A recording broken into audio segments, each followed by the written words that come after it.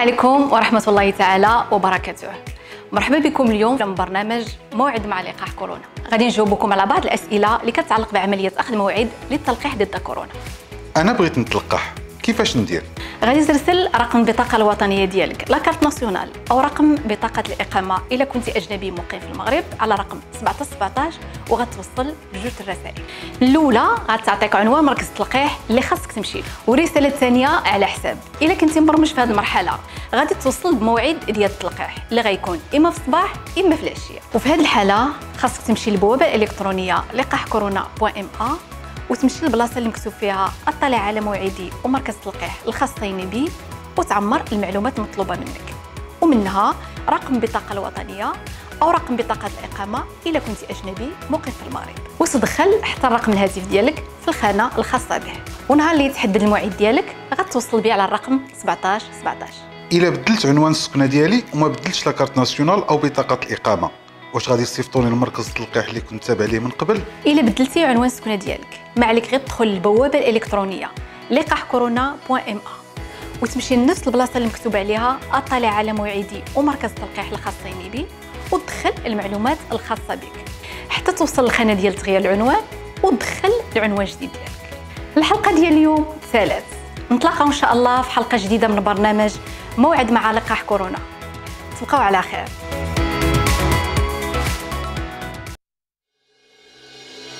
اليوم مع تطبيقات مسار الهاتف المحمول وصلت منظومة مسار لمرحلة جديدة.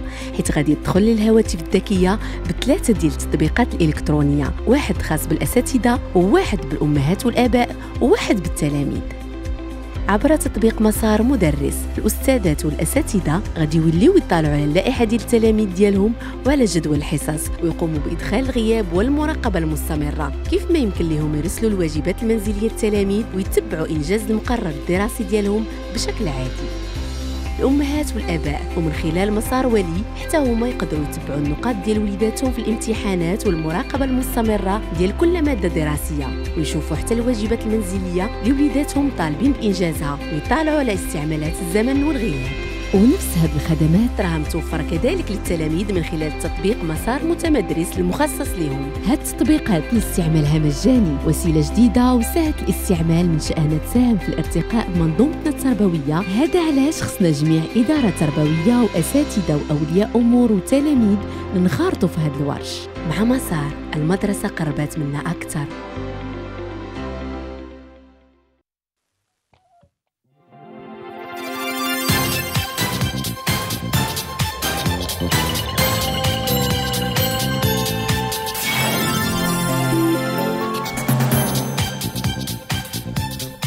أيها السيدات والسادة أسعد الله مساءكم بخير وأهلا بكم ضمن هذه الجولة الإخبارية الجديدة من قناة العيون نبدأها بأبرز العالم.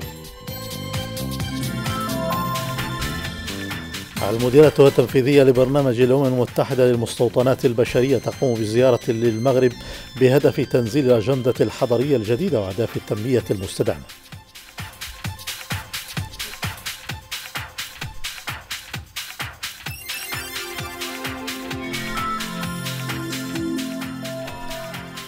ومن جنيف نتابع منظمات غير حكومية تدعو إلى الضغط على الجزائر لوقف تجنيد الأطفال من قبل جبهة البوليساريو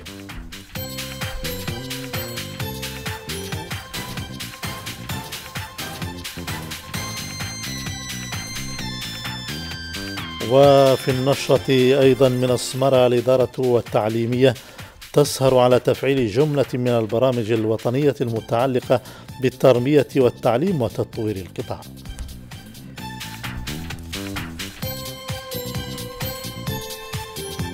أهلا بكم من جديد. بعث صاحب الجلالة الملك محمد السادس برقية تعزية ومواساة إلى رئيس غينيا الاستوائية تيودورو بيانجيمان باسغو على إثر الانفجارات العرضية التي هزت معسكرا للجيش في باتا وخلفت عددا كبيرا من القتلى والجرحى. تقوم المديرة, المديرة التنفيذية لبرنامج الأمم المتحدة للمستوطنات البشرية بزيارة لبلادنا وفي برنامجها لقاءات مع عدد من المسؤولين تناولت تنزيل الأجندة الحضرية الجديدة وأهدافها التنمية المستدامة في المغرب والعالم. وأيضا الدور الذي يمكن أن يطلع به المغرب في القارة الأفريقية في هذا المجال. تقرير لمحمد مصطفى خير. في لقائها مع رئيس الحكومة أعربت المديرة التنفيذية لبرنامج الأمم المتحدة للمستوطنات البشرية عن إعجابها بما حققه المغرب في مجال ورش القضاء على مدن الصفيح كما عبر رئيس الحكومة بالمناسبة عن ارتياحه لمستوى التعاون بين المغرب والبرنامج الأممي 2020-2030 الخاص بالمغرب. هناك برنامج للتعاون والشراكة يربط برنامج الأمم المتحدة مع حكومة المملكة المغربية. وتبحثنا بخصوصه في هذا اللقاء. هو برنامج يهدف إلى تحقيق التنمية المستدامة والمشاريع البيئية وأيضا الإقلاع الاقتصادي والاجتماعي بعد جائحة كورونا. لقاء مماثل جمع المدير التنفيذية مع وزير الشؤون الخارجية والتعاون الإفريقي والمغاربة المقيمين بالخارج. تطرق بالأساس للأجندة الحضرية الجديدة وسبل تنزيلها وأهداف التنمية المستدامة بالمغرب والعالم. وفي لقائها مع وزيرة إعداد التراب الوطني والتعمير والإسكان وسياسة المدينة أكدت الوزيرة الوصية على القطاع أن النهوض بالسكن في العالم القروي يشكل شرطا لا محيد عنه للقضاء على الفوارق المجالية ببلادنا. الأشواط الكبيرة التي قطعها المغرب في مجالات التنمية المستدامة والطاقات المتجددة وتقاسم التجارب بين المغرب والدول الإفريقية أهم محاور لقاء المسؤولة الأممية مع رئيس جمعية جهة المغرب. تبادل الآراء حول إمكانية التعاون أولا وكذلك للاطلاع على المراحل التي وصلتها الجهوية المتقدمة في المغرب. وكما تعلمون السكن والسكن في المدن بالخصوص يعد تحدي قوي وكبير بالنسبة لا للمغرب فحسب ولكن للعالم تعزيز سبل التعاون والشراكة مع مكتب الأمم المتحدة للمستوطنات البشرية ومجموعة العمران في مجال معالجة السكن غير اللائق. والسكن المهدد بالانهيار أهم محاور اجتماع المسؤولة الأممية مع مجموعة العمران. شراكة من قديم مع الأمم المتحدة ديال الإسكان. وتنشاركوا مع الوزارات السكنة وسياسة المدينة في هذه الشراكة. آه، حنا تندخلوا يعني خصوصا كآلية الدولة اللي تتنفذ البرامج الحكومية في القطاع محاربة دور الصفيح التنمية الحضرية. وخلال مختلف لقاءات المسؤولة الأممية مع المسؤولين الحكوميين تم استعراض مجموعة من البرامج الطموحة التي باشرتها المملكة المغربية تحت القيادة الرشيدة لجلالة الملك محمد السادس في مجال التنمية الاجتماعية والإقتصادية. كشف مدير المكتب المركزي للأبحاث القضائية السيد شرقاوي حبوب في حوار خاص به مجلة جون أفريكا. لا زيادة من 100 انفصاليا تمون لجبهة البوليساريو ينشطون في صفوف تنظيم القاعدة في بلاد المغرب الإسلامي.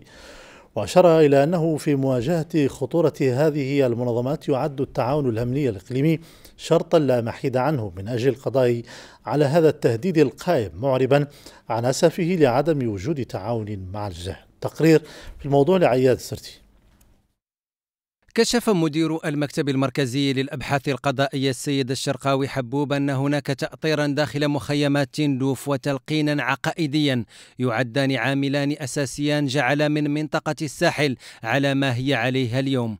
تهديد للمغرب كما بالنسبة للدول الأخرى مضيفا أن هذا المعطى الثابت يحيل على انخراط عناصر جبهة البوليساريو في المجموعات الإرهابية المصغرة أو داخل تنظيم القاعدة في بلاد المغرب الإسلامي في صفوف تنظيم الدولة الإسلامية في الصحراء الكبرى. وأشار في هذا الصدد أنه في مواجهة خطورة هذه المنظمات يعد التعاون الأمني الإقليمي شرطا لا محيد عنه من أجل القضاء على التهديد القائم ومعربا في الوقت ذاته عن أسفه لعدم وجود تعاون مع الجزائر. واعتبر أن الأمر يتعلق هنا بخطر لكن أيضا بعقبة تقف أمام الجهود المبذولة من طرف بلدان المنطقة وباقي القوى العالمية بغية محاربة هذه الظاهرة.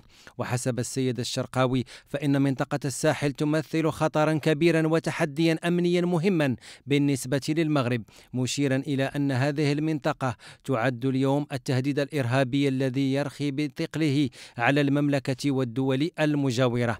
وسجل المسؤول الأمني المغربي أن ذلك يفسر بالاضطرابات السياسية والسوسيو اقتصادية التي تشهدها المنطقة موضحا أن الأمر يتعلق بمجال شاسع حيث تظل المراقبة الأمنية غير جلية. وفي حواره الصحفي ذكر مدير المكتب المركزي للأبحاث القضائية إلى أن هناك أيضا تنظيم الدولة الإسلامية في الصحراء الكبرى بقيادة عدنان أبو الوليد الصحراوي العضو النشط السابق بجبهة البوليس البوليساريو والذي تبنى خلال سنتي 2016 و2020 عددا من العمليات الإرهابية في المنطقة مضيفا أن الولايات المتحدة تمنح خمسة ملايين دولار لكل من يوفر معلومة تتيح تحديد موقعه في الوقت الذي تسير فيه منطقة الساحل نحو التحول إلى بؤرة للمنظمات الإرهابية.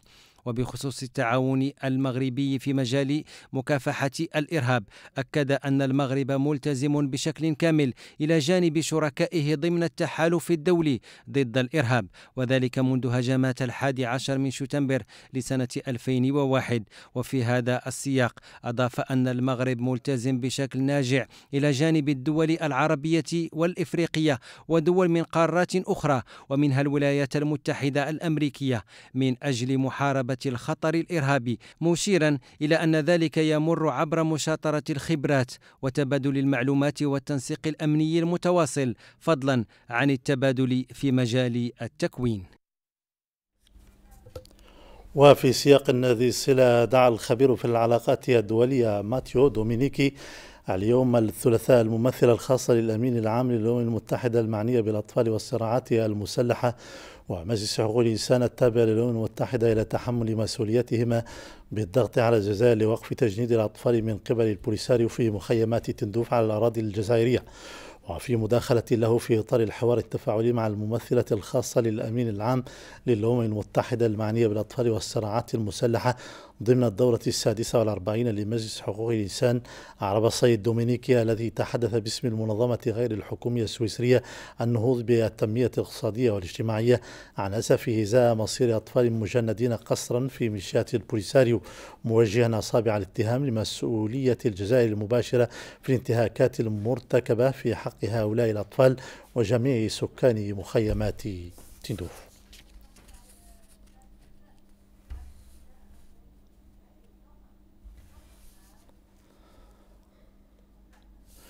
وضعية الأطفال بمخيمات تندوف هي على النقيض تماما من وضعية نظرائهم بالأقاليم الجنوبية للمملكة. هنا حيث تستفيد الناشئة بجميع الفئات العمرية من عدة برامج تربوية. التعليم الأولي والتربية الدامجة من بين هذه البرامج والتي يتم السهر على تنزيلها على أرض الواقع. النموذج نرصده من مدينة السمارة في روبورتاج محمد تروزي وصالح القيب 12 مؤسسة ابتدائية عمومية توفر أقساما خاصة بالتعليم الأولي بإقليم السمارة. تجاوز عدد الأطفال المستفيدين 400 طفل وموفرة بذلك مجالا تعليميا تربويا قبيل المرحلة الابتدائية تماشيا مع رؤية الإدارات المعنية بقطاع التربية الوطنية. في إطار تطوير وتعميم التعليم الأولي بإقليم السمراء قامت المديرية الإقليمية بعدة مخططات عمل سنوات تحت إشراف الأكاديمية الجهوية. يتمحور حول نقطتين آه، توسيع العرض التربوي حيث قامت بالتأهيل وتجهيز وبناء آه، حجرات مخصصة للتعليم الأولي وتم فتح أقسام التعليم الأولي بجميع المؤسسات التعليم الابتدائي العمومي بالإقليم. المحور الثاني عقد شراكات اتفاقيات مع الجمعيات المهتمة بمجال التعليم الأولي. لا يخفى على أحد. أهمية التي أصبح يحظى بها التعليم الأولي من خلال ما نص عليه القانون الإطار 51 17 من خلال إلزامية التعليم الأولي بالنسبة للأطفال المتراوح أعمارهم ما بين أربع وست سنوات من أجل تهيئتهم وإدماجهم وكذا إعدادهم للمرحلة التعلم اللاحقة بحيث أصبح دمج التعليم الأولي ضمن السلك الأساسي. ونلاحظ في هذه السنوات الأخيرة ارتفاع أو تقدم ملموس في نسبة الإقبال على التعليم الأولي. برنامج آخر لا يقل أهمية ضمن المنظومة التعليمية وطنيا ومحليا. التربية الدامجة برنامج تربوي تعليمي يشمل فئات من الأطفال في وضعيات إعاقة أو خاصة. وبحسب قدرات واحتياجات كل طفل يتم تصدير برنامج فردي لكل تلميذ. كما يتم التركيز في البنيات التعليمية الجديدة بالسمارة إحداث قاعة للتأهيل والدعم خاصة بالتربية الدامجة تماشيا مع متطلبات التلاميذ المستفيدين. كنشتغلوا في إطار الشراكه مع المديرية الإقليمية للتربية الوطنية لتنزيل البرنامج الوطني للتربية الدامجة. آه، إحنا جمعية منفتحة على كل المؤسسات التعليمية بالسماره آه، كنقدموا واحد المجموعة ديال الخدمات آه، من بينها خدمات تربوية وتأهيلية واجتماعية بناء على برنامج بيداغوجي مسطر يعتمد على دعم التعلمات بواسطة وسائل ديداكتيكية حديثة آه، مع احترام برنامج فردي لكل تلميذ. آه، حسب قدراته واحتياجاته الخاصة. تمكين الأطفال في وضعية إعاقة ووضعية خاصة اللي هو المشروع رقم أربعة. هو في الحقيقة مجموعة من من التدابير وإجراءات آه، تختم المديرية الإقليمية للاستثمار من أجل تنزيل هذا المشروع ذلك من خلال استقبال التلاميذ وتسجيلهم بهدف الاستقبال والاحتفاظ بهم بالمؤسسات التعليمية. ثم كذلك خلق خلق قاعة للدعم والتأهيل. برامج وأهداف كبرى ضمن استراتيجية وطنية تسعى إلى الارتقاء بجودة التربية والتكوين وترسيخ مبدأ الإنصاف وتكافؤ الفرص بتطوير العرض التربوي. برامج عديدة تسعى الدوائر التعليمية بالسمارة إلى تحقيقها كاملة في إطار تنمية اجتماعية أساسها العنصر البشري. في مستجدات الحالة الوبائية أعلنت وزارة الصحة اليوم. الأربعاء عن تسجيل 453 حالة إصابة جديدة بفيروس كورونا. المستجد و500 و530 حالة شفاء و10 حالات وفاة خلال ال 24 ساعة الماضية فيما بلغ عدد المستفيدين من الجرعة الأولى من عملية التلقيح 4 ملايين و80 ألف وتسعة أشخاص. فيما بلغ عدد المستفيدات والمستفيدين من الجرعة الثانية من التلقيح 854 ألفا و274 شخصا. وتتوزع حالات الإصابة المسجلة خلال ال 24 ساعة الأخيرة على صعيد الجهات الجنوبية بتسجيل ست حالات بجهة الداخلة وادي الذهب وحالة واحدة بكل من جهة العيون الساقية الحمراء وكذلك جهة قليميم وغدر في موضوع آخر نظمت منظمة الارتكاز لبرنامج الأمم المتحدة الإنمائي بإقليم السزاق احتفالية تخلد لليوم العالمي للمرأة. احتفالية احتفالية كرمت عددا من النساء الفاعلات في المنطقة. في المتابعة حافظ محضار سنة بناوي ومحمود شراكي المرأة الصحراوية مساهمة جادة في تخليق الحياة السياسية من الجهوية إلى العالمية. موضوع الندوة التي تحيي من خلالها منظمة الارتكاز لبرنامج الأمم المتحدة الإنمائي بآس اليوم. الأممي للمرأة مداخلات وعروض سلطت الضوء على الأدوار التي اطلعت بها نساء الأقاليم الجنوبية في إعلاء مكانة المرأة وتقوية حضورها جهويا ووطنيا. المنظمة كتخلد الذكرى اليوم العالمي للمرأة المرأة الصحراوية والأمازيغية والقروية. واليوم كان حفل تكريم وكانت واحد الندوة فكرية الحمد لله. وتماشيا مع الأهداف العالمية للتنمية المستدامة. الهدف الخامس هو المساواة بين الجنسين الحمد لله. وكذلك توجيها يعني كنطبقوا التوجيهات الملكية اللي كيعطيها سيدنا من أجل المرأة في الريادة في جميع التخصصات. كان هناك نقاش عبر مجموعة من المداخلات الأخوات. من ضمنها آه، تأثير المرأة الصحراوية في القرار محليا ومن ضمنها أيضا آه، قانون أو آه، ماذا تقول القوانين عن مشاركة المرأة سياسيا. هذه الاحتفالية شكلت فرصة لتكريم عطاءات صفوة من النساء إقليم أسا ممن بصمن على حضور لافت في عديد الميادين بالمنطقة. لحظة للاحتفاء بالتميز. وقوة العطاء وتكريس ثقافة الاعتراف بالجميل.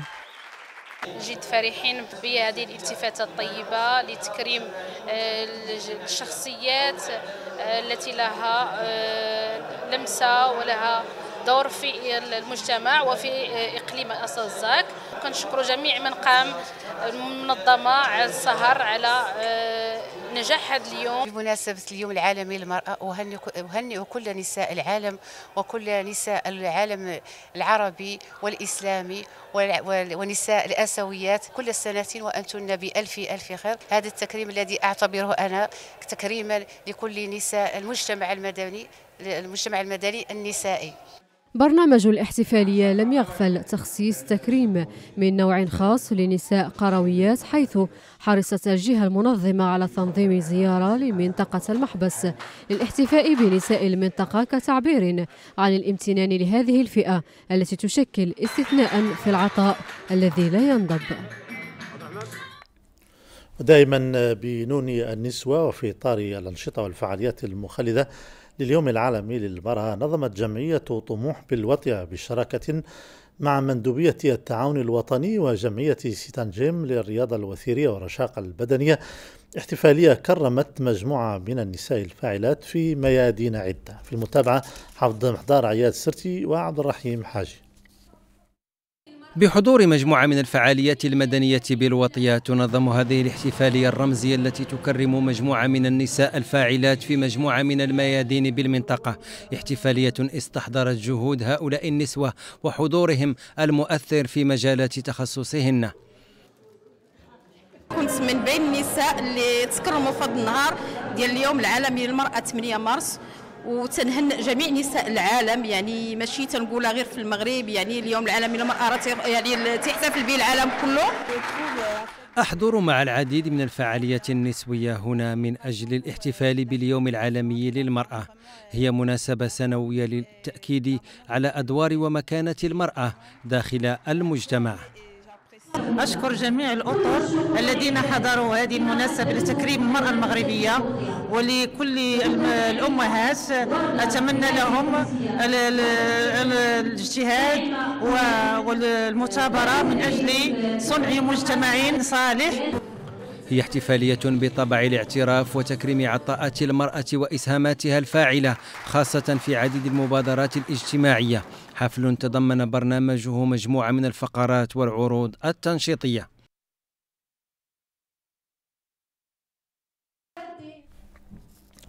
ولتنشيط أجواء اليوم العالمي النسائي نظمت خلية المرأة وشؤون الأسرة وقضايا الطفولة التابعة للمجلس العلمي المحلي لإقليم بوجدور بمناسبة اليوم العالمي للمرأة مسابقة علمية في الثقافة الإسلامية والسيرة النبوية. والتفاصيل في متابعة البريغين العروسي ومحمد شارة.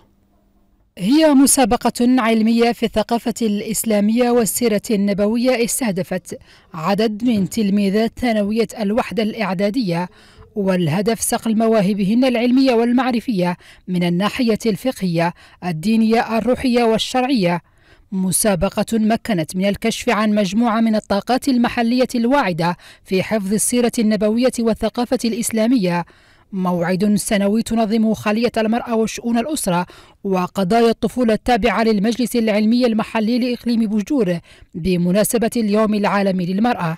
هذا النشاط يأتي في سياق آه، الأنشطة التي يقوم بها المجلس العلمي المحلي ببوجدور آه، من تأطير للمتعلمين. وأكيد أن تأطير المتعلمين أصبح من القضايا الشائكة. لماذا؟ لأن هناك وسائط كثيرة متدخلة في هذا الأمر.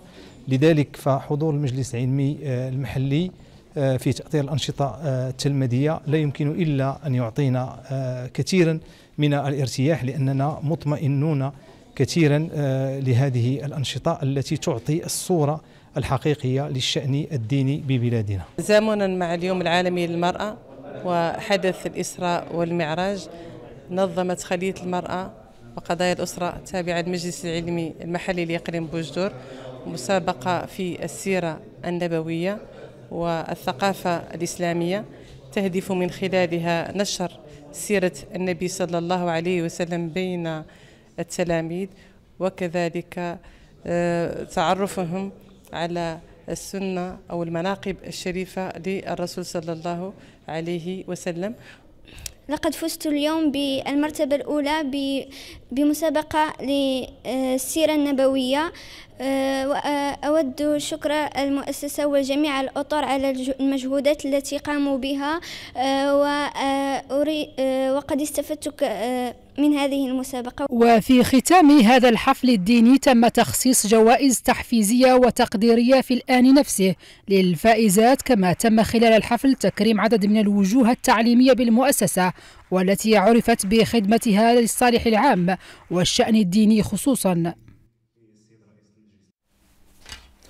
رحلة البحث عن قصيدة على مقاسي حلمه دفعت ابن الأقاليم الجنوبية عمر الراجي حاملا ما جادت به قريحته لسنوات وهو يغازل الكلمات. دفعت به إلى أن يشد الرحال إلى مسابقة أمير الشعراء في نسختها التاسعة بأبو ظبي فاستطاع أن يكون أول المتأهلين إلى المرحلة الثانية.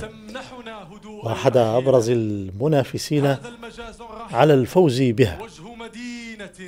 وجاء تأهل المبدع المغربي إلى المرحلة الثالثة بعد حصوله على درجة 48 على 50 على 50 من لجنة التحكيم في الحلقة التي نظمت مساء أمس بمشاركة أربعة شعراء آخرين. وتعرف المسابقة في مرحلتها الثانية مشاركة 15 شاعرا يتوزعون على ثلاثة مجموعات تضم كل واحدة خمسة شعراء. يتأهل منهم إلى المرحلة المقبلة مشارك واحد بقرار لجنة التحكيم وشاعر ثاني آخر عن طريق تصويت المشاهدين مزيدا من التوفيق للشاعر المبدع عمر الراج. الآن إلى جديد الصحف الصادرة. يوم غد في تقرير محمد مصطفى خيّ نستهل قراءتنا لصحف الصادرة يوم غد من صحيفة برلمانكم الإلكترونية والتي كتبت كذا الرئيس البرازيلي الأسبق فرناندو ديميلو في رسالة وجهها مؤخرا إلى الرئيس الأمريكي جو بايدن على أهمية القرار الأمريكي بالاعتراف بالسيادة الكاملة للمغرب على صحراء بهدف التوصل إلى حل دائم للنزاع المفتعل حول الوحدة الترابية للمملكة. وقال عضو مجلس الشيوخ الحالي في هذه الرسالة أود أن أعرب لفخامتكم عن ارتياحي للقرار الأخير للولايات المتحدة الأمريكية بالاعتراف بالسيادة الكاملة للمغرب على الصحراء مشيرا إلى أن هذا القرار تم اتخاذه في لحظة مهمة جدا إذ أن العملية السياسية الرامية إلى حل هذا النزاع الإقليمي تتطلب دينامية جديدة من شأنها وضع حد لاستمرار المأزق والأعمال المزعزعة للاستقرار التي كثيرا ما ارتكبتها الميليشيات المسلحة. وأضاف أرحب أيضا بقرار الاعتراف بمبادرة الحكم الذاتي كأساس وحيد لتسوية النزاع الإقليمي حول الصحراء المغربية وفتح قنصلية في مدينة الداخلة ما يمثل اعترافا بسيادة المغرب وإمكانات المنطقة كقطب اقتصادي إقليمي وتبع كولر أنه مقتنع بأن الولايات المتحدة الأمريكية ستواصل تحت رئاستكم الدفع بقضية الصحراء نحو حل عادل ودائم بفضل دعمها المستمر للمبادرة المغربية للحكم الذاتي. من جهة أخرى أشاد السيناتور البرازيلي بالنموذج الاقتصادي الجديد للصحراء الذي أطلقه الملك محمد السادس في 2015 والذي رصدت له استثمارات مالية إجمالية تقدر بثمانية مليارات دولار مسجلا أن نتائج الاستثمارات في هذا الجزء من المملكة باتت ملموسة في مجالات البنى التحتية والتعمير والصحة والتعليم وكذا في المشاريع الاقتصادية والفلاحية والصناعية والسياحية والاقتصاد الاجتماعي والتضامني. صحيفة هيسبريس الإلكترونية كتبت منية الجزائر بخيبة أمل كبيرة بعد فشل اجتماع مجلس السلم والأمن بالاتحاد الإفريقي على مستوى رؤساء الدول والحكومات. الذي خصص لمناقشة تطورات ملف الصحراء المغربية وقضايا أخرى ودعا مجلس السلم والأمن إلى التزام أطراف النزاع باتفاق وقف إطلاق النار المبرم عام 91 900 وألف وكافة قرارات الأمم المتحدة ذات الصلة وتفعيل دور الترويكا الإفريقية المعنية بمتابعة ملف الصحراء المغربية. ورغم الجهود التي قام بها الرئيس الجزائري شخصيا من خلال اتصالاته إلى جانب رئيس جنوب إفريقيا فإن تمثيلية البلدان الإفريقية المشاركة في اجتماع الصحراء الصحراء كانت ضعيفة جدا. إذ من أصل 15 بلدا عضوا في مجلس السلم والأمن لم يشارك على مستوى رؤساء الدول سوى أربعة رؤساء فيما كان ثلثا الحاضرين تمثيلية وزارية فقط. صحيفة بيان اليوم كتبت في عدد الصادر يوم غد الخميس أكد رئيس مجلس محافظي كينيا وحاكم مقاطعة إمبو مارتن نياغا أمس الثلاثاء في نيروبي أن الجميع يرى في المغرب أملا كبيرا لإنجاح التنمية في إفريقيا. وأبرز رئيس مجلس محافظي كينيا الذي يعد ثاني مؤسسة كينية عليا بعد البرلمان خلال مباحثات أجراها مع سفير المغرب في نيروبي المختار جامبو. التعاون جنوب جنوب الذي أرساه وحمل لواءه جلالة الملك محمد السادس. وأعرب وامبورا عن تطلع بلاده إلى الاستفادة من التجربة المغربية الغنية في مجال اللاتمركز واللامركزية. موضحا أن العديد من الدول الإفريقية بما في ذلك كينيا تود أن تستفيد من المغرب ليس فقط في كيفية تطوير الزراعة وتعزيز السياحة ولكن أيضا من خبرته في الحكامة في مجال اللامركزية. ومن يومية الأخبار نختم جولتنا الصحفية عبر جديد الصحف الصادرة يوم غدين الخميس وكتبت أكد محمد عبد النبوي الوكيل العام للملك لدى محكمة النقد رئيس النيابة العامة أمس الثلاثاء. عزم النيابة العامة على تسخير كل الإمكانيات المتاحة لجعل قاضي النيابة العامة فاعلا حقيقيا في حماية الحقوق الإنسانية للمرأة. وقال عبد النبوي في كلمة خلال ترأس افتتاح دورة تكوينية تنظمها رئاسة النيابة العامة على مدى يومين حول موضوع دعم دور قضاة النيابة العامة من أجل تفعيل حماية ناجعة للمرأة. أن أذاننا صاغية لآراء شركائنا من أجل التفعيل الأمثل لهذه الغاية. معربا بهذه المناسبة عن شكره لمجلس أوروبا وللاتحاد الأوروبي على التفاعل الإيجابي مع كافة اقتراحات رئاسة النيابة العامة من أجل إتاحة المجال لتبادل الخبرات والوقوف على الممارسات الفضلة في مجال حماية النساء من كل أشكال العنف. انتقل إلى عفو الله تعالى المرحوم مبارك والعالينة ولا الويمين عن سن تناهز 87 عاما الفقيد. ينتمي إلى قبيلة البارك الله وكان قيد حياته أحد أفراد المقاومة وجيش التحرير. وانتقل إلى عفو الله الفقيد مبارك والعبد الرحمن ولد الحناش عن عمر يناهز 86 عاما. فقيد ينتمي لقبيلة تيتموسولي وانتقلت إلى عفو الله المرحومة فاطمة الزرقي عن عمر يناهز 88 عاما الفقيدة تنتمي لقبيلة الشرفاء فلالة كما انتقلت إلى عفو الله تعالى المرحومة نهي سمية مثل بشير للسالك عن سن تناهز 54 عاما الفقيدة تنتمي إلى قبيلة أيت الحسن أيت يحيى. تغمد الله الجميع بواسع رحمته. واسكنهم فسيح جنانه والهم ذويهم الصبر والسلوان وإنا لله وإنا إليه راجعون. اللحظة إلى الورقة الخاصة بأحوال الطقس غدا بمشيئة الله. إذ يرتقب أن تكون الأجواء صافية إلى قليلة السحب على العموم بالمنطقة. درجات الحرارة المتوقعة غدا إن شاء الله 20 بالرباط باقي المناطق. تتباين درجات الحرارة وتتراوح ما بين 20 بسيدي فني 25 بقليميم 28 بطنطان. كذلك بطرفاية 29 بالعيون وكذلك ببوجدور 27 بإسمارة 28 بمكرع 24 بالزاك و25 متوقعة بأسا. باقي المناطق ستتباين درجات الحرارة تتراوح ما بين 22 بالداخلة 26 بقلة الزمور وكذلك بمضرقة 29 بأوسرد و32 مرتقبة بالقويرة البحر وعلو الموج على الساحل التصيل الجنوبي. سيكون البحر هائج إلى قليل الهيجان تتراوح ما بين متران إلى ثلاثة أمتار شروق الشمس غدا إن شاء الله على الساعة الثامنة وأحد عشر دقيقة والغروب على الساعة السابعة وخمسة وخمسون دقيقة. خط الطقس بعض العواصم والمدن المجاورة 32 بنواكشوط العاصمة الموريتانية. 34 بنواذيبو 22 بتندوف و27 مرتقبة بزويرة.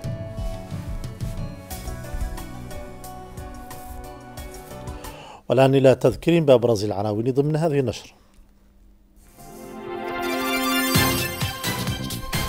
المديرة التنفيذية لبرنامج الأمم المتحدة للمستوطنات البشرية تقوم بزيارة المغرب بهدف تنزيل الأجندة الحضرية الجديدة وأهداف التنمية المستدامة.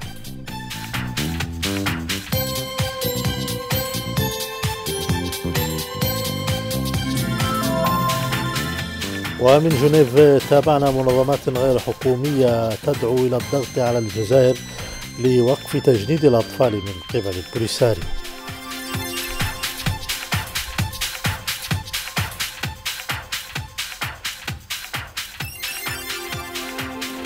ضمن نشرة هذه الليلة رصدنا من السمارة الإدارة التعليمية تسهر على تفعيل جملة من البرامج الوطنية المتعلقة بالتربية والتعليم وتطوير القطاع.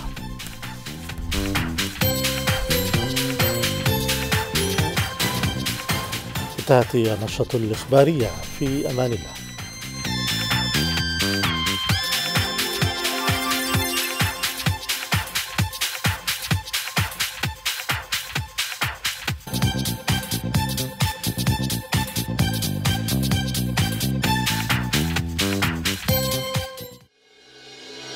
اليوم مع تطبيقات مسار الهاتف المحمول وصلت منظومة مسار لمرحلة جديدة.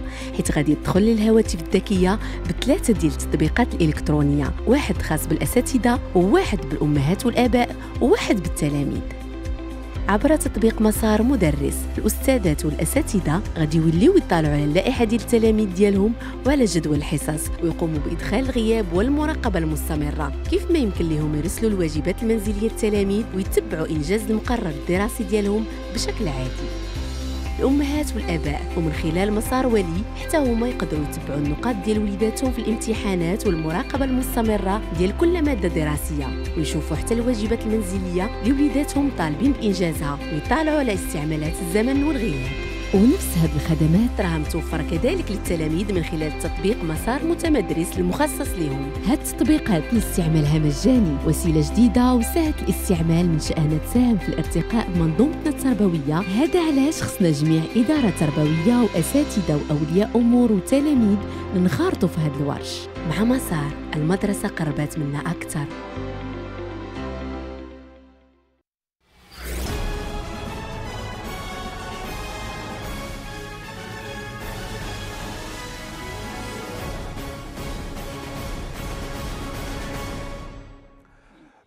سنة تعد بتحولات سياسية وجيوستراتيجية مهمة في المغرب كما في العالم. المملكة على أبواب سنة انتخابية يبدو ربما أنها سوف تكون استثنائية. على بعد عشر سنوات من الدستور الجديد للمملكة المعتمد منذ العام 2011 عشر سيكون على المغاربة الذهاب إلى صناديق الاقتراع قبل نهاية العام من أجل اختيار ممثليهم في البرلمان كما في الجماعات والمجالس المحلية والجهوية. يأتي هذا بعد مرحلة عصيبة تمر منها المملكة كما باقي دول العالم إثر جائحة كورونا. وفي انتظار نموذج تنموي جديد من المنتظر أن يرقى بالمملكة المغربية إلى مصاف الدول المتقدمة. فما هي أهم وأبرز الانتظارات من هذه السنة الانتخابية والسياسية بامتياز؟ وما أبرز التساؤلات التي ربما من الواجب وضعها على طاولة النقاش من أجل فهم ما ينتظرنا في هذا العام الاستثنائي. أهلا بكم من العاصمة. أهلا بكم من العاصمة. في هذه الحلقة الجديدة التي نقدمها لكم من العاصمة الرباط تحية لكم مشاهدينا أينما كنتم تتابعون على قناة العيون في الأقاليم الجنوبية وعبر أنحاء المملكة المغربية وأينما كنتم تتابعون عبر العالم. في حلقة هذا المساء اذا نتوقف مع محطة بارزة منتظرة خلال العام 2021 بداية من بداية الخروج الخروج من جائحة كورونا إلى نموذج تنموي واقتصادي جديد إلى محطة انتخابية حاسمة في تاريخ المملكة الحديث. لمناقشة هذه المواضيع هذا المساء يسعدني أن أستقبل اليوم كل من الدكتور نجيب الصومعي الخبير المالي والمحلل الاقتصادي. مساء الخير سي نجيب صومعي. مساء الخير سي كريم. ويسعدنا كذلك أن نستقبل في حلقة هذا المساء الأستاذ الباحث في القانون العام وفي القانون الإداري خصوصا سي رشيد اللق من جامعة محمد الخامس بالرباط مساء الخير أستاذ رشيد. مساء الخير سي كريم. مرحبا بكما. طيب دعوني أبدأ معكم بالتساؤل الكبير ليفهم أيضا المواطنون والمتتبعون. لماذا في تقديركما سنة 2021 هي سنة مهمة؟ للمغرب وللمغاربة أين تكمن أهمية هذا العام؟ اولا سنة 2021 سنة سنة بخصوصيات كبيرة لأنها سنة تحولات كبرى في العالم سواء على المستوى الاقتصادي أو السياسي أو كذلك يعني هندسة العلاقات الدولية بالعالم سنة تحول لأنها من المفروض أنها تكون سنة التعافي لأن جائحة كورونا اليوم أوصلت الاقتصاديات كل اقتصاديات العالم إلى وضعية صعبة جدا. والكلام الحديث كله في العالم على آليات التعافي للخروج من الأزمة. سنة 2020 كذلك سنة خاصة 2021 كذلك سنة خاصة على اعتبار على أنها سنة إعادة تشكيل الخريطة الاقتصادية العالمية وسنة الدخول في آه، منظومة النظام الاقتصادي العالمي الجديد. أكثر من ذلك هي سنة ديال التحولات مرتبطة بسلاسل القيمة بشكل غير مسبوق في العالم. زائد على أنها سنة ديال التحول كذلك من منظومة عشنا فيها آه، لمدة واحد 70 ولا 80 سنة ديال الثورة الصناعية الثالثة للدخول إلى ثورة صناعية رابعة. سنة 2021 بالنسبة للمغرب هي سنة ديال بداية واحد الطفرة ديموغرافية مرتبطة بالاستثمار في العائد الديموغرافي. هذه السنة كذلك هي سنة يجب أن تكون سنة السياسات العمومية الذكية. سنة السياسات العمومية البراغماتية التي تهدف للخروج من يعني آه، السياسات العمومية التي نهدف من خلالها إيصال رسالة لبقية العالم. هذه سيجب أن تكون رسائل للداخل رسائل الأثر لامباكت على المواطنات والمواطنين. وهذا الشيء بان من من كافة المبادرات الأخيرة ديال جلالة الملك اللي توجت بالقانون الإطار ديال ديال ديال الحماية الاجتماعية لأنه يجب أن نذهب من السياسات العمومية العادية إلى سياسات عمومية مبنية على الأثر في إطار ما يصطلح عليه بالتدبير بالاثار ذا management par impact يعني أن يكون هناك آه، أثر وتأثير مباشر مباشر جدا على المواطنين على المواطنين. سي آه، رشيد آه، اللق يعني ما هو منتظر من سنة 2021 يبدو كبيرا على أكثر من مستوى اقتصاديا سياسيا آه، اجتماعيا. كيف تنظر لهذا آه، العام؟ وفي تقديرك لماذا تحدث سنة 2021 بكل هذه آه، الأهمية والانتظارية لدى الرأي العام المغربي؟ في الحقيقة سنة 2021 هي سنة جاءت بخصوصيات خاصة بعد أزمة كورونا. الآن الدخول في علاقات جديدة خريطة سياسية جديدة في العالم خريطة اقتصادية جديدة. آه، على المستوى المغربي كذلك على المستوى الوطني كاين تحديات كبرى بعد جائحة كورونا. الآن نحن مقبلين على سنة انتخابية. ستكون سنة انتخابية بامتياز على المستوى الوطني. سنة فيها تحديات كبرى على المستوى الاقتصادي خاصة وما عشناه آه، من جائحة كورونا آثار التي خلفته الجائحة على المستوى الاقتصادي الاجتماعي. آه، أكيد ستكون سنة تحديات بامتياز.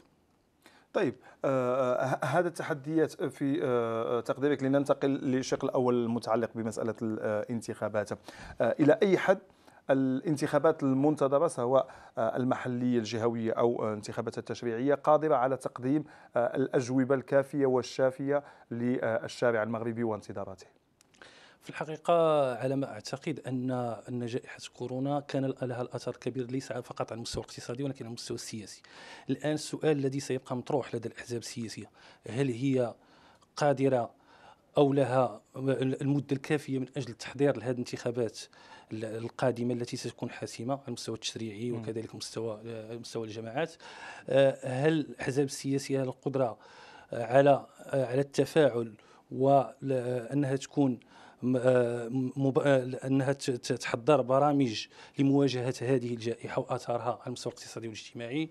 هل الأحزاب السياسية قادرة على أن تعطينا نخب قادرة على طرح برامج برامج اللي غادا اللي غادا تكون قادرة على معالجة هذه المشاكل الآن اللي عشناها مع الجائحة واللي خلفتها الجائحة والآثار ديالها؟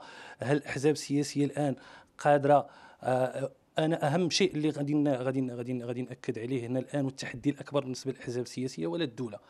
هو المشاركة السياسية من بعد هذه الآثار هذه الجائحه من بعد آثار الجائحة. هل هل هل, هل الدولة والأحزاب السياسية لها برامج أو لها طرق من أجل أنها آه، تمكن الشعب المغربي من التصويت على الأحزاب السياسية في ظل ما نعيشه الآن أزمة سياسية وازمه وأزمة سياسية ماشي غير على مستوى على مستوى على مستوى الأحزاب. ولكن على مستوى كذلك حتى المجتمع المدني لا يتفاعل الآن مع لا يتفاعل الآن مع آه، نلاحظ أنه عزوف غادي يكون هذا هو التحدي الأكبر آه، عزوف على مستوى المشاركه السياسية. السياسية. طيب آه، سي نجيب الصومعي ينظر إلى المحطة الانتخابية المقبلة على أنها الموعد المنتظر آه، أنها سوف تقدم لنا الحلول ربما والأجوبة للمرحلة المقبلة. في حين هناك من ربما يفقد الثقة في العملية السياسية أو على الأقل الانتخابية التي تمر عبر الأحزاب. في تقديرك إلى أي حد يمكن التعويل على الانتخابات المقبلة من أجل تقديم الحلول والأجوبة الملائمة للمرحلة المقبلة؟ أولا الانتخابات هي محطة اللي تكون بمثابة تجديد ديال الدماء ديال التدبير ديال الشأن العام. مادام مفروض لأنه بلادنا اختارت هذا الاختيار هذا خيار ديمقراطي بالنسبة لبلادنا باش تستمر في واحد الإطار ديم يعني ديمقراطي اللي تيضمنوا آه، الدستور. وخاصة المداولة لأنه واخا ظروف صعبة. إحنا اليوم العالم تعيش واحد الظروف صعبة جراء جائحة كورونا ولكن الخيار الديمقراطي ديال بلادنا أكد على أنه يجب أن تنظم الانتخابات في وقتها وهذه إشارة مهمة. ولكن بالنسبة لي الرسائل المهمة التي ننتظرها هذه السنة هي رسائل لجنة النموذج التنموي وهي التي سترهن آه، قدرة الفاعل السياسي على تقديم يعني آه، إجابات واضحة للتوصيات توصيات هذه اللجنة. اليوم كاين عندنا واحد الإشكال كبير مرتبط بالمكانة ديال الفاعل السياسي في المغرب. على اعتبار على أنه آه، الرهانات المطروحة على الأجندة ديال بلادنا متعددة جدا.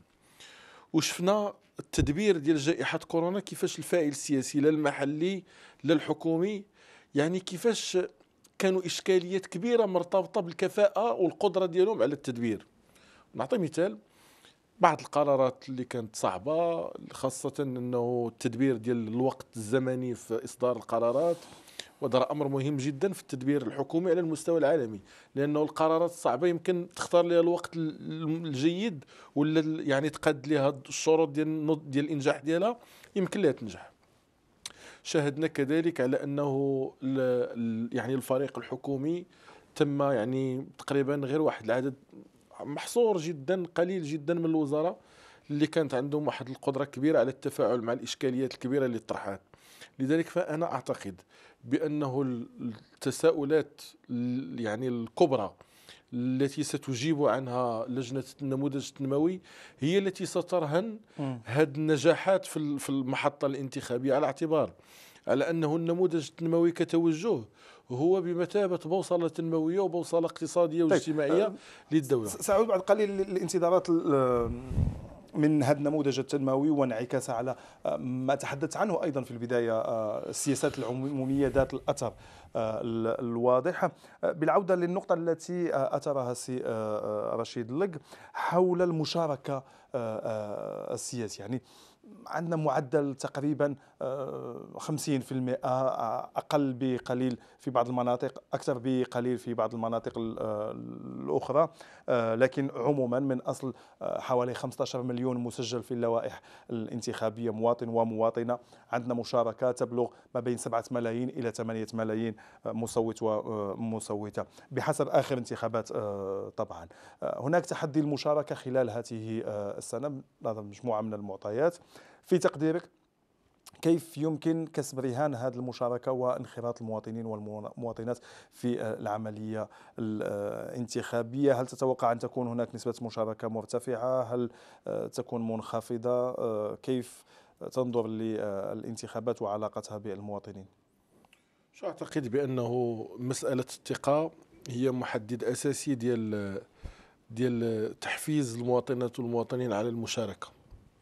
لأنه اليوم حسب دراسات يعني البرنامج الإنمائي للأمم المتحدة نسبة الثقة في العمل في الفاعل الحكومي خاصة والسياسي في المغرب لا تتعدى 32% وهذا مؤشر خطير جدا اللي تيقول على أنه كاينة واحد يعني واحد الهوة كبيرة بالفاعل السياسي وبين المواطنات والمواطنين اللي يمكن آه، يعني كقراءة أولية التأكيد على أنها اتسعت.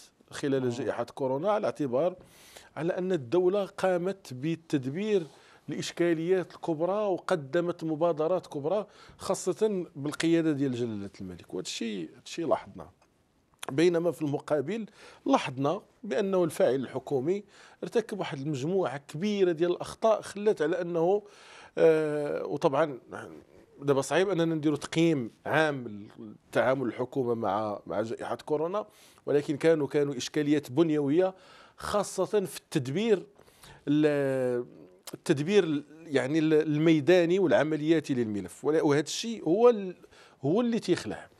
على اعتبار على أنه المواطنات والمواطنين آه، هما أمام خيارين. يا إما التوجه بكثرة إلى صناديق الاقتراع وهذا هو المفروض لأنه الحق في المشاركة هو بمثابة آلية التي ستساعد المواطنات والمواطنين على التغيير وأنهم يجيوا بالبديل.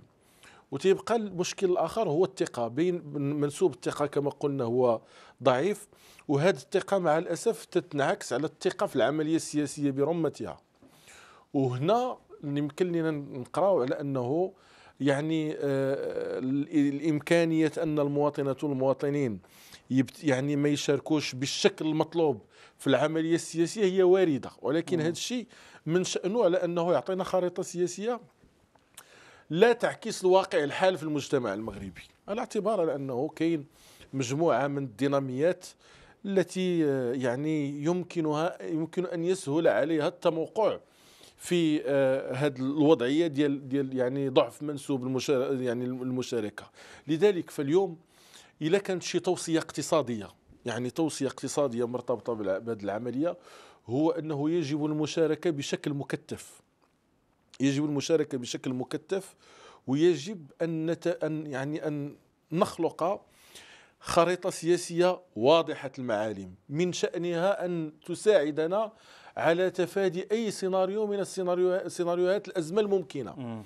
لأنه اليوم المغرب لا يحتاج بأي حال من الأحوال من الجانب الاقتصادي لا يحتاج بأي حال من الأحوال لأزمة سياسية أو إعادة blocage آخر. سيكون هذه المرة مكلف. جدا. طيب على أمل إنجاح الانتخابات المقبلة سي آه، رشيد ما هي العوامل آه، وربما حتى المحددات في تقديرك التي سوف تؤثر في مسألة المشاركة في الانتخابات؟ حقيقة لما نتحدث عن المشاركة السياسية لابد خاصة في هذه الظروف لابد أن نعود كما أشار الأستاذ في الظروف ديال الجائحة والطريقة ديال التعامل. التعامل ديال السياسي مع الجائحة. لأن لاحظنا وكما لاحظ الجميع أن كان غياب أو تغييب الفاعل السياسي نظرا للظروف الخاصة التي كانت تمليها الجائحه على الجميع غياب السياسي يعني حالة الطوارئ حالة الطوارئ الصحي وما إلى ذلك. لظروف كانت مم. كان كان كان غياب سياسي ولكن حضور الدولة حضور حضور سلطة الرقابة مثلا في التوزيع في كذا في سياسة القرب مع المواطن في كذا إلى آخره. المساعدات كذا كانت من طرف سلطة الرقابة ولم تكن من طرف المجالس المنتخبة. نظرا للظروف وكانت هذه كانت الظروف تمليها الآن هذا هذا هذا إشكال. هذا من ضمن الإشكاليات اللي غادي يعطينا أن الفاعل السياسي كان غائب في تلك الظروف. وملي كيغيب الفاعل السياسي المواطن يلاحظ غياب الفاعل السياسي دونك لا يتفاعل معه في الانتخابات. هذه مسألة مهمة. كما قلت قبيل على التحديات. وحتى باش ما نعطيوش نظرة سوداوية للناس المواطنين وكذا فاحنا إحنا إحنا بطبيعة الحال نأمل أن أن أن أن المواطنين أنه يمشيوا للتصويت للتغيير وكذا والفرض الأمور اللي بغاو هذا مع مع المنتخبين. لكن الإشكال هو كما قلت قبل التحديات مرتبطة بالأحزاب السياسية اليوم. بعض الممارسات اللي كتفرضها الأحزاب السياسية هي التي تؤدي إلى العزوف السياسي وإلى إلى إلى نفور إلى نفور المواطنين من التصويت. لما اليوم كنشوفوا بعض الأحزاب السياسية تكرر نفس الوجوه في بعض الجماعات ان لم نقل آه، كاين بعض الوجوه التي آه، تم تخليدها في بعض الجماعات. تجد رئيس جماعة 50 آه، سنة أو 40 سنة في نفس الجماعة خاصة في الجماعات القروية أو شبه قروية. لا يكون تغيير فيها بشكل بشكل كبير وإنما تعاد نفس الوجوه. وللأسف الأحزاب السياسية تعول على تلك النخب دونك حنا خاصنا نتجاوزوا الان الاحزاب السياسيه خاصها تتجاوز مساله ديال هيمنه المال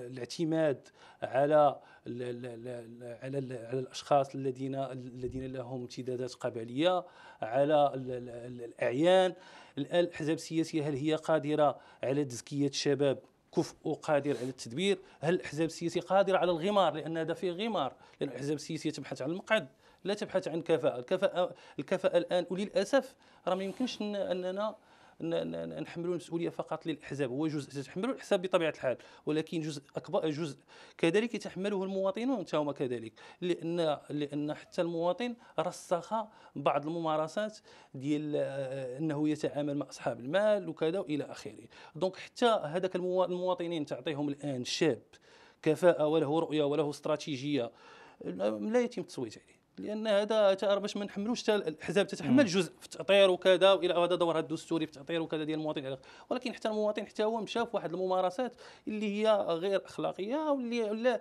أصلا تنجب لنا هاد هاد الكائنات الانتخابية اللي حنا اليوم كنهضروا عليها. تتعطينا رؤساء جماعات كيبقاو دائمين تما خاصة كما هضرنا على مستوى الجماعات القروية وشبه قروية. تعطيك ممارسات بر... تعطيك برلمانيين. الآن حنا نبحث وتنقولوا البر... الآن أه, آه، لماذا البرلمان لا, لا ما كاينش ما كاينش تشريع بشكل جيد ما عندناش قوانين جيدة على مستوى التشريع كذا غياب كفاءات كذا على مستوى البرلمان. الآن نعطيو كفاءة أنه يترشح دائرة نعطيو مثلا دائرة فين؟ دائرة مثلا فين ما كان خاصة في القراوي. دائرة في القراوي واش غادي ينجح لينا؟ نعطيو دكتور أو مهندس أو كذا نقدموه. تما انتخابات ما ينجح شيء.